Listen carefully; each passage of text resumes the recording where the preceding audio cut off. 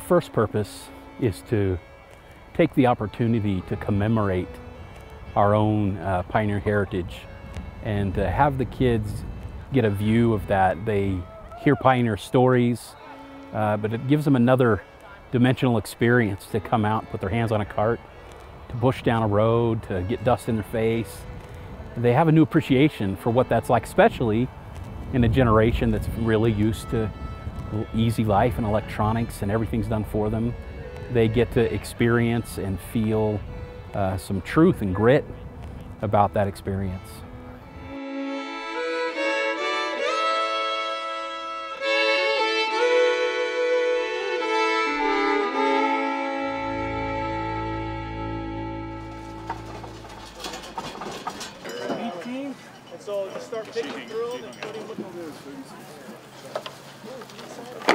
We got here to the trek site and we were in families. Our youth were all in their families and they were able to work together to put together hand, their hand carts, to pack up their stuff.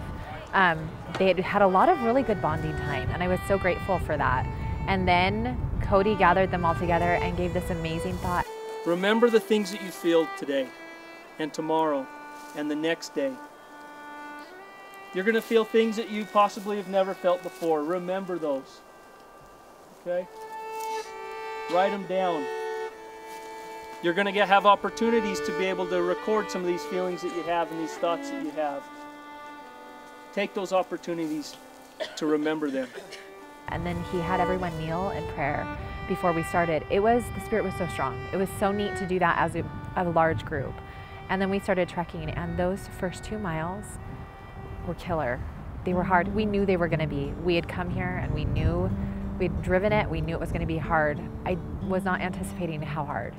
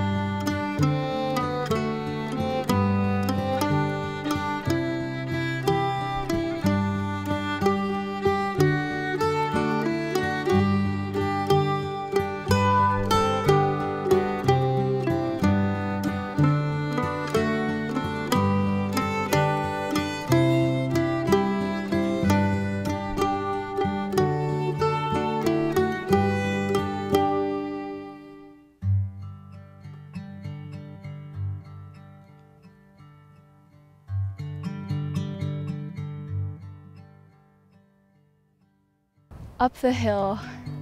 That was a shock to me, at least. I was not expecting it to be that steep. I thought we were just gonna have an easy trail, I don't know.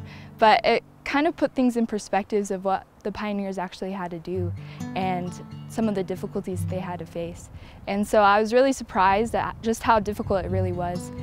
First two was a whole bunch of rocks uphill and that was pretty brutal. Everyone was, it was sort of like we didn't get a warm up, it just straight on through. And um, but I guess the further you went on, you know, you just realize, you know, the the more steps I take, the less I have to, you know. We had a lot of uphill climbs and a lot of rocks in our way, but our family was so supportive of each other, so it was just kind of um, it was kind of fun and we kind of played games to kind of pass the time and we would always encourage each other to keep going so um, the mountains kind of seemed small when we did that. We've definitely had some troubles along the way, but we have pushed through it and worked hard as a family and also as a whole group together, helping each other move each other up the large hills over the rocks, and it's been a great experience so far.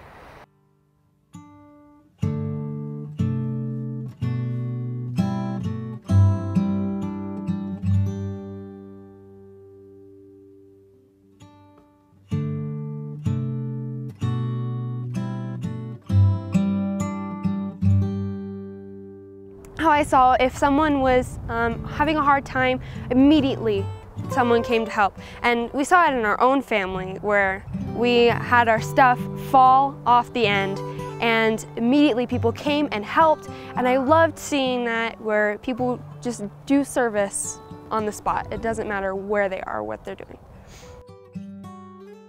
Life is hard. It's not it's not a walk in the park as they say. It's times are going to be hard. And these are the sort of experiences that you can remember and and can know that you can get through it. That as you work together as a team, as you serve each other, as you rely on Christ, you can get through anything you need to get through.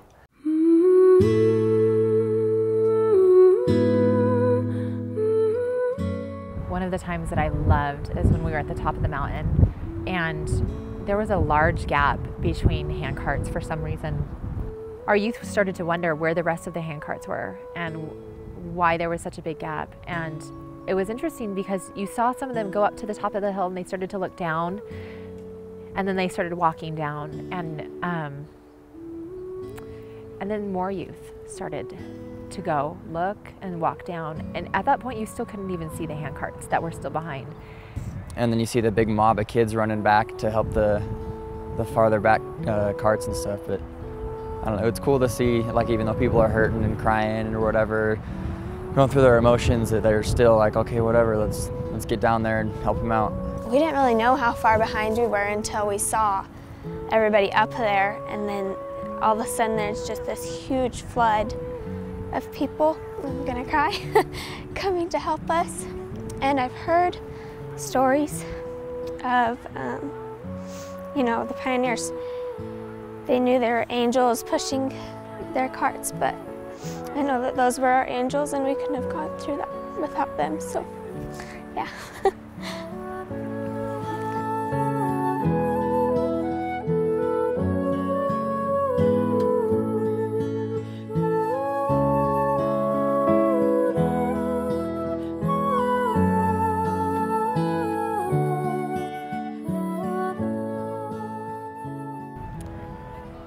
Lizzie Oaks. She's probably gonna hate me for pointing her out, but um, she, I saw her walk by and I was like, oh, hey Lizzie. And like five minutes later she goes by again and I was like, what are you doing, girl? And so she kept going back and helping people and so I went with her and some of my siblings went with her and then uh, pretty soon there was just a ton of people going and helping.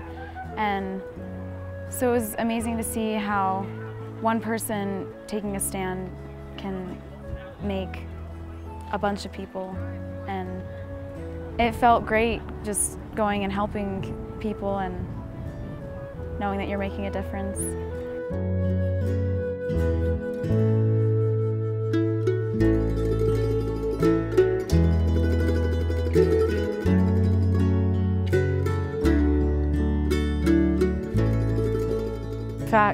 First day we were pushing and it was just us girls in the back and it was just me and Lauren and we were pushing and out of nowhere just this kid comes up and he starts pushing and we got over all these rocks and then he just left and we like looked at each other we're like did you see that and he was like she's all yeah I don't know who that is and we haven't seen him since so I mean they're like little angels it's pretty cool. I don't know. It's nice to know that there's still people out there who are willing to go the extra mile and do their work and then other people help them out.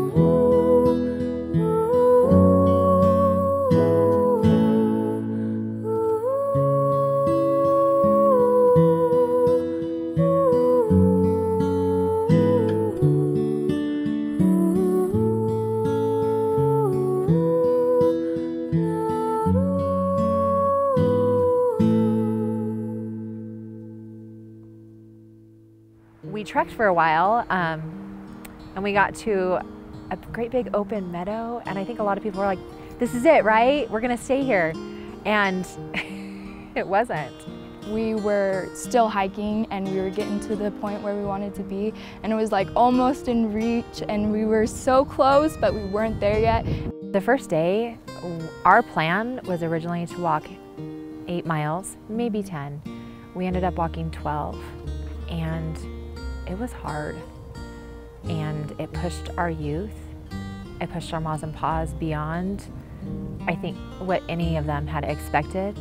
It was a mental mind game to realize, okay, I'm gonna have to push myself. And then it got dark and they were trekking in the dark and they didn't know what you couldn't really see where you were going and to rely honestly on each other and on their savior because I know that they were praying. I know it.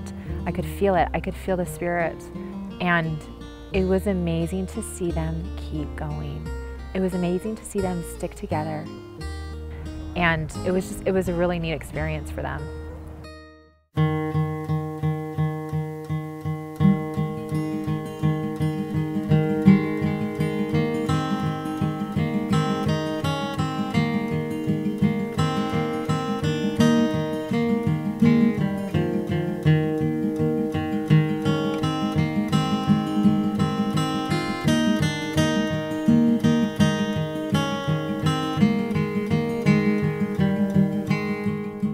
Such a relief to finally arrive at winter quarters because we've, you know, we've gone like so far and it was so hard, but we all pushed through it and it was just amazing to know that we triumphed something that we thought was impossible.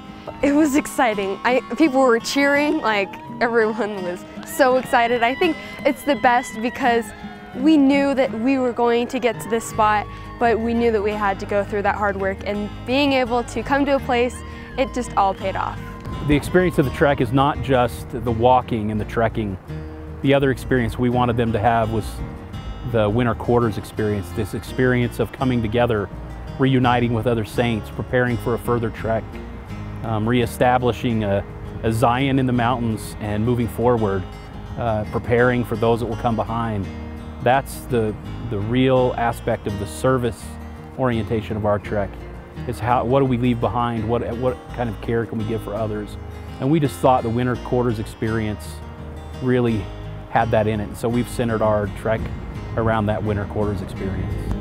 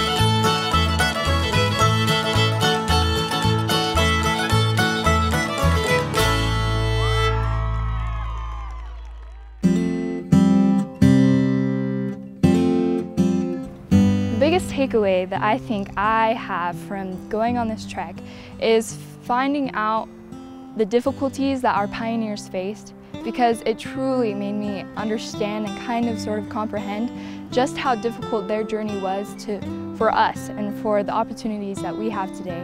It made me realize what they went through and it made me see like all the sacrifices that they made. I don't know, I can't help thinking about how, how strong they had to be, you know, because looking back, like just thinking about how hard this would be, just do the, the whole 12, 15, 20 miles, however much they did every day for 150 days and the cold and the heat, whatever it is, and going over mountains and through trees, and it's insane. Just getting to know yourself and to know that your ancestors did this too. I mean, it's just a piece of you that just kind of comes together. You didn't really expect it. It doesn't matter how hard it is, you can get through it. When you don't think you can take another step, you can. And that's, if they come, come away with nothing other than that, knowing that they can help someone when they're going through hard times, they can in turn help others to get through it as well, then it was a complete success the experiences doing hard things makes me feel better about myself and like I can do hard things. And so when I'm in a trial in life, I look back and I say, oh, I did a trek. I can do this now. This is a test. This is, this is us getting ready to have our own family, have our own job, and it's a wonderful experience. It helps, it helps me grow even more to uh, want to do better every single day.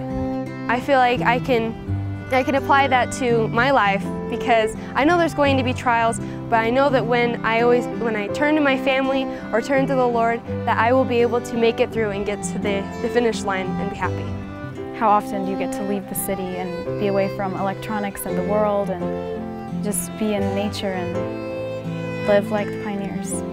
I'm so grateful to have this experience. And um, I heard somebody say the other day, you know, this isn't just a good church. We're not part of just a good church.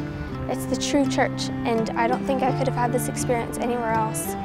And it's, I'm so grateful to have this, for like, just to have it and to have it in my memory for forever. Come thou fount of every blessing, to my art to sing thy grace. Streams of mercy never ceasing, call for songs of loudest praise. Teach me some melodious sonnet sung by flaming tongues above. Praise the mount I'm fixed upon mount of love.